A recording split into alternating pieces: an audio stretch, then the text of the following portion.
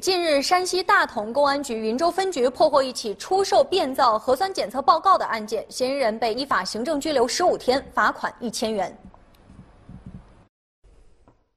一月十八日，山西大同贝家灶派出所接到举报，当地贝家灶村有一复印店出售制作的核酸检测报告。警方经过调查发现，复印店老板魏某岗通过修改名字以及身份证号码的方式出售变造的核酸检测报告十一份，从中获利两百元。一个车队的，他一块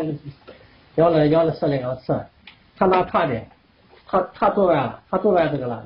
做完这个了不是做完拿过来，手里没手里有个钱。嗯，他那其他那其他那个东西也做了，嗯，也做了是他他跟我说也做了，但是那啥，但是是没出来，第二天才出来，嗯，就是把他们收入去，把把他们车队的这个这个名字改成名字。依据《中华人民共和国治安管理处罚法》第五十二条规定，魏某岗的行为涉嫌伪造、变造、买卖公文、印章、证件、证明文件，公安机关对其处以行政拘留十五日，并处罚款一千元。目前，警方还在追踪购买变造核酸检测报告的买家，案件还在进一步调查当中。